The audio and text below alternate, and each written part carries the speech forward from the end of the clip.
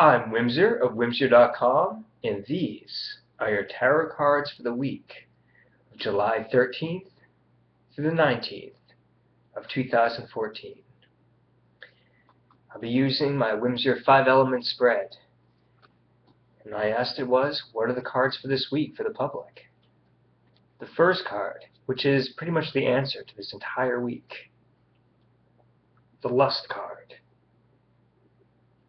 The Lust card is truly an excellent card to be given for this whole week. What we see in this card is a beautiful, fit, naked woman holding with one hand the beast with many heads, holding with her other hand the Holy Grail. She is naked because she is confident. She is completely in command of her inner beast, and because of that, she holds the Holy Grail, whereby all of life is at her disposal. That was the Spirit card, which represents the entire week. Now, for a breakdown, the Fire card for this week. The Seven of Wands, also called Valor. Now, the Fire card will represent your will and also how to a it's also sort of a how-to will for the spirit card. In this case, the Seven of Wands, which represents valor. Or think of it this way. You'll know what you're doing is right, simply if it feels right. But we're talking about will. When you do what is right for you, then you will be doing what is right for the world. Concentrate on what is right for you, and you cannot go right wrong this week. The Water card, which represents your emotions and creativity. The Princess of Cups. The Princess of Cups holds with her a heavy bowl with a turtle in it, which is also quite heavy. But she is under, or mostly underwater. So these objects are not heavy. But the very water of her experience holds the weight of her wisdom, of her creativity, of her home. This is telling you that there is nothing in you, nothing creative in you that is too heavy. Get it out there this week. Be creative. Do what feels right to you. Paint something, draw, sing. Do whatever it is that makes you you.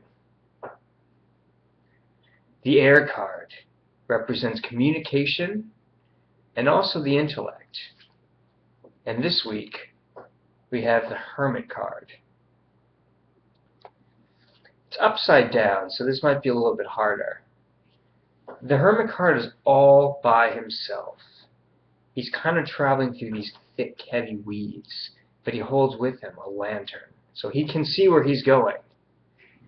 Also, he does have a dog with him that helps him to kind of keep him company. The dog is his mind.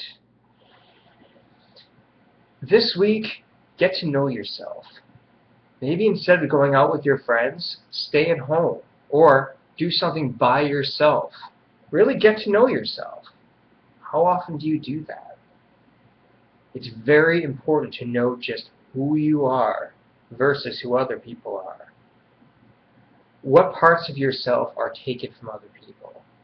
Maybe you have a facial expression that you got from one of your parents. Maybe you have a laugh that you got from a friend.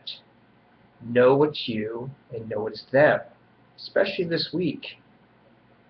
It's all about living life to its fullest this week.